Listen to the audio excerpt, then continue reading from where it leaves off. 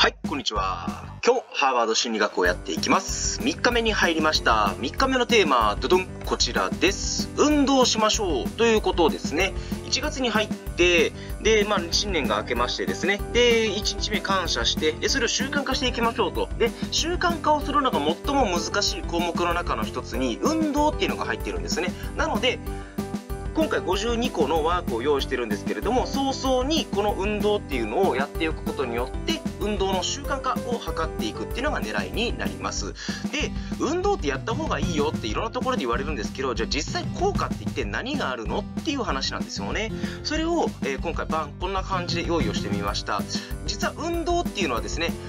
健康にいいだけではなくって実は精神的にもいいんですよね。でとある実験の中で週3回1日30分以上の運動をすると、まあ、そうでない人と比較をすると実はバンということでうつ病のリスクが4倍も異なったという実験結果が出ているくらいなんですよね。うん、これって非常に多い大きい差だと思うんですよ。4人に1人かっていうと、うん結構大きな差ですよね。ところがちなみになんですけどね運動すれば鬱になりにくくなるっていうわけじゃないんですよ実は運動をしないから人間っていうのは鬱になりやすいんですよっていうことなんですよね実はそもそも人間っていうのは体を動かす生き物なんですよ。ね、あの原始時代の頃から獲物を追いかけたりとか、あるいは命を守るために天敵から逃げるために体を動かして生きてきたんですよね。だから、一日中今の時代パソコンの前で仕事をしていたりとか、長時間会議をするっていうのは人類がこれまで過ごしてきた歴史を振り返ってみた時に、こう体を動かすのと真逆の行動をとってるんですよね。だからそれが体の部分だけじゃなくって心にも悪影響を及ぼしてしまって結果的にうつ病になりやすい人たちっていうのが現代は増えたっていうことなんですよだからよく言われるちょっとここには書いてないんですけど教育が悪いとかその体罰が少なくなったとかなんかねあのーなんて言ったらいいんでしょうね。こう、強く言われることが減ったからっていうのじゃなくって、単純にここなんですよ。運動しな、する、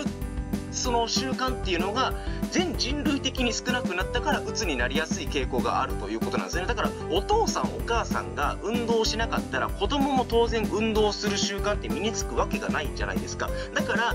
特に子供が小さい頃なんかっていうのは定期的に公園に行って一緒に遊んでお父さんお母さんも体を動かすっていう習慣を身につけていく方が子供も長期的な目線で見た時に精神的にも健康体になりやすいっていうことが言えるということなんですね。はい。い。でさらに運動には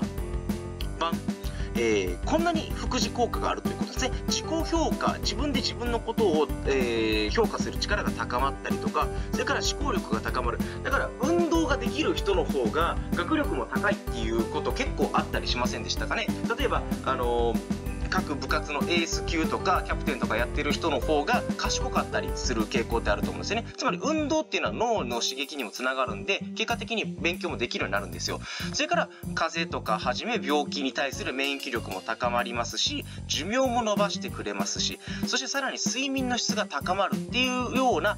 以上の副次的効果っていうのがありますので運動にはいいことずくめが言えるというわけなんですわな。うんうんうんうん。そこでじゃあどうせ運動をやるんだったらその一時的にバンとやれるような瞬間的な運動じゃなくて続く運動をした方がいいですっていうことですよね。だから運動を続けていくためには NG 行為としてはどんな運動をするのか例えば何かスポーツを始めるとかそれから筋トレでこういう種目をやってみる回数をやってみるっていうものではなくってどんな運動だったら毎日とか週に例えば3日とか4日やりたいって思うかっていうそういう目線で考えてこれをやこの運動をやろうこのスポーツを始めようっていうふうに考えて実行してみていただけるのが非常にいいと思います。で例えばじゃあどんなことかっていうと1日10分ウォーキングするとか1日10回だけ腕立てをするといったこういった負荷ハードルが非常に低いものから始めるっていうと、えー運動を続けたいというふうに思える思いやすいというふうに思いますんで、えーそんな感じで始めてみていただけたらいいかなと思います。で最終的に時間も回数も増やせるとグッドになりますんでこれを初めから、えー、例えば1日1時間ウォーキングをするとか1日50回腕立てをするっていう風にハードルを高めてしまうと意味がないということなんで昨日の動画でもお話をしましたが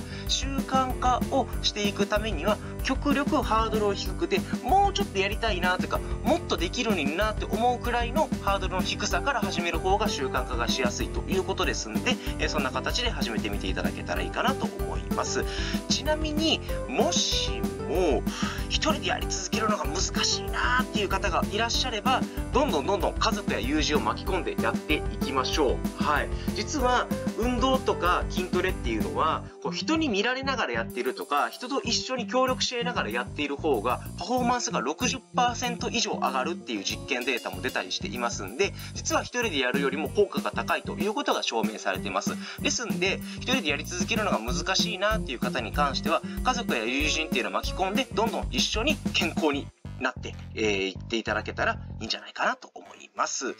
ということでですね、えー、最後に、お広がってる。うん、最後に、バン。この動画が役に立ったなとか、面白かったなと思っていただいた方に関しては、ぜひチャンネル登録ボタンと、それからグッドボタンを押していただけると非常に嬉しくて励みになります。ですので、ぜひよろしくお願いいたします。ということで、次回の動画もお会いいたしましょう。本日は以上です。お疲れ様でした。さよなら。バイバイ。